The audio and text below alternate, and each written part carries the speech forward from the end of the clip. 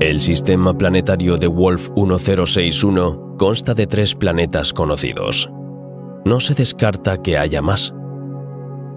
Estos planetas se detectaron analizando 10 años de observaciones del sistema Wolf 1061, realizadas por el espectrógrafo HARPS en el Observatorio de la Silla, en Chile.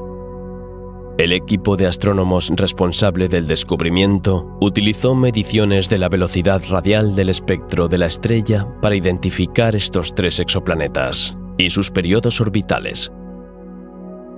Wolf 1061b orbita la estrella en solo 5 días, mientras que Wolf 1061c tarda 17,9 días en rodearla, y Wolf 1061d, más alejado, orbita en 217 días.